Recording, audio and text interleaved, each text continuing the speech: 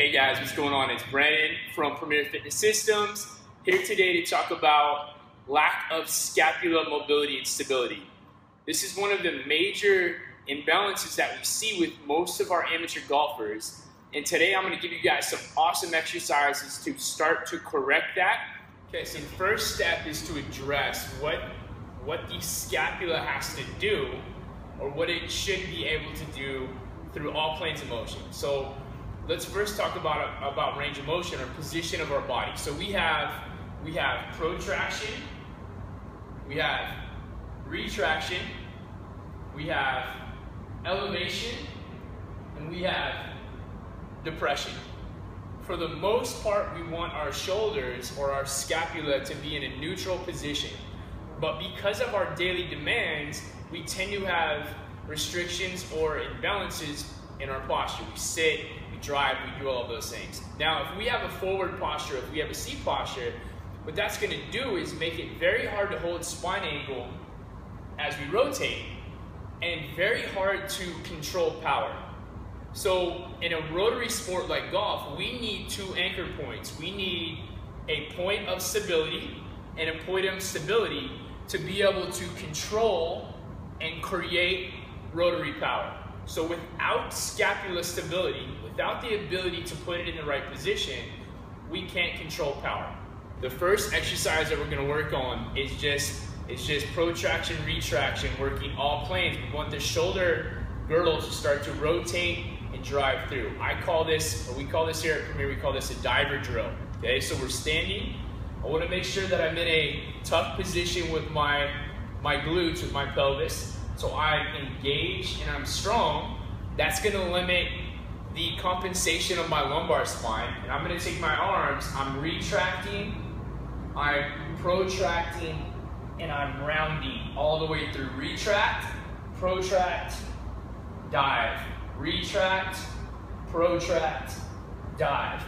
You want to feel the scapula come back, right? Around and all the way through. And we're gonna do that with a little bit of tempo for 20 repetitions.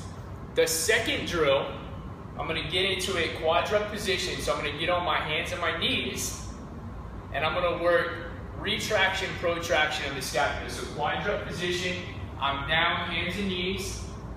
Again, I want my lumbar spine to be stable, and I'm going to retract, protract, retract, protract as far out as you can. Looks pretty simple, but you'd be surprised how many people are restricted and they can't get their scapula moving. The third drill or exercise of this circuit, we're gonna get into a seated position. And I'm gonna sit cross-legged. I'm posturing up as tall as I can, okay? Palms out, or hand, arms out, palms up, and I'm reaching Elevate, scapula, depress, back down. Reach. Elevate, depress, and repeat. Okay, the next circuit we're going to address the stability component. So the first we're working mobility. And remember, mobility is not just flexibility. Mobility is flexibility with strength. You need both. You need to be mobile but we also need, need to be able to control that range of motion. You cannot create power without, without control, right? You cannot, if you have all the range of motion in the world, but you can't fire or create power in that range of motion, that range of motion does you no good. So that is why we need stability as well as mobility. The next three exercises are going to address the strength or stability component of your scapula. So starting I'm gonna go off of our, our bars here, our stall bars. Now I realize a lot of you guys might not have access to stall bars. At your gym, you can use a Smith, a Smith rack, or even a regular squat rack because you just need a bar that's about chest height. Okay, so I'm gonna go to the stall bar. I'm gonna be, my back is gonna be to you guys, and I want you to think about the motion that I'm trying to achieve, which is a protracted out shoulder a retracted and depressed scapula, shoulders. That's key, is it's down. We don't want to be elevated up. This is common because the traps are tight. I want the shoulder blade, the scapula to be depressed and down, okay? I'm grabbing stall bar, chest height. My feet are gonna come forward. I'm gonna allow my scapula to roll forward. And then I'm retracting and depressing. Protract, retract, depress. Protract, retract, depress. And what you would see if you were in front of me is you would see my arm actually rotate. So as I protract, my arms are going to internally rotate. And as I retract, they should externally rotate, which helps me set into my lat and the surrounding structure of the scapula. So again, internal rotation, retract, external, external rotation, depress. Out, back, and down. Okay? Here, stability, we're addressing stability in the scapula. And this is probably one of the best exercises for scapular stability as well as pelvis or hip stability. It's a good indicator to see where you're at and to give you a gauge of are you improving in your scapular stability. So this is just a, a shoulder tap drill. Okay, we can do this a couple different ways. Initially, we'll get in a quadruped position. Okay, I'm hands, I'm on my hands and knees. My shoulders are above my elbow and wrist. I'm stacked. My knees should be under my hips. I want neutral position on my pelvis. My head is neutral. And without moving my body, I'm going to tap my shoulders. So left to right, right to left. Now again, that looks pretty easy, but you'd be surprised if your intention on that drill is to not move. Nothing is going to move or rotate. There's a lot of rotary stability happening. Now the progression is to get into a push-up position. Same thing.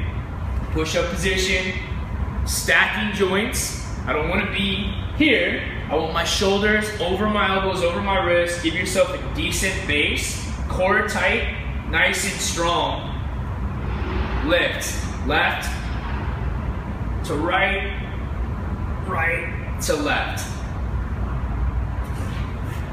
And you might even see there, my body is moving a little bit. So once I'm warmed up and engaged, I can lock in. That's something that I'm constantly working on myself that we use a lot because we want to be able to hold that position and not move as that point of contact comes off the ground. If you're moving, your core is weak, your pelvis is weak, your scapula is lacking stability. That's not a negative thing, it's something that we just need to work on. You can do all the pressing and pushing in the world. If you can't master that drill, we know you're, you've got some limiting factors as far as scapular stability and pelvis stability. So that is an awesome exercise to try.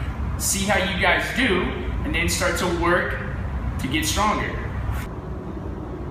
Okay, the last exercise drill movement we're going to address today is going to be the hardest. This is definitely a progression. This is something that you guys want to work towards, but you're more than happier to try this out to see how you stack up because you'll either be able to do it and move or you can't. And that again is an indication of where your scapular strength is. So this is going to be a active arching hang. Great strength, stability exercise for activation strength in the scapula. And I'm borrowing this or stealing this from gymnastics. This is something that gymnasts have been doing for years to get activation in their scapula. So when they're doing ring exercises, ring, ring drills, they're not just pulling with their big muscles, they're integrating, they're using their smaller muscles that again surround the scapula. So the rotator cuff, everything that's in there deep. If you do this, if you try this and you can't move, you know you've got some work to do. But again, that's that's why we do this. That's why we work. So this exercise is going to be a active arching hang. I'm gonna get up from the pull-up bar. I'm in a hang position. My goal is to retract and depress my shoulder blades, pinch them together, arch my body to the roof, come back down and repeat.